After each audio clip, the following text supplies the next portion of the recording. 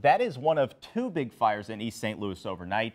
Earlier this morning, a neighbor pulled an elderly woman to safety from the raging fire along 27th Street. Our Justin Andrews is live in East St. Louis right now. Justin, you're hearing from the man who rescued that woman. Samantha, it's an interview you won't see anywhere else this morning and a true testament of this man's heroic actions potentially saving this 94 year old woman's life.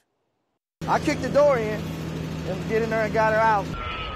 And we are so thankful David Williams stepped in. The flames look fierce here. The flames basically swallowing this vacant home. The fire chief in East St. Louis says the call came in as a vacant house fire around 2.50 this morning, and then it spread to the home of Miss Robinson. That's the 94-year-old woman. We're told her home has some damage. Neighbors saw the fire, jumped into action, kicked down the door to save her, and she got out unharmed. I seen the, the, the orange smoke, so, I mean the orange uh, so I knew it was a fire. And uh, seeing which house it was. Miss Robinson lives there in that house, so the fire was going over to her house. We got her out of there, thank God.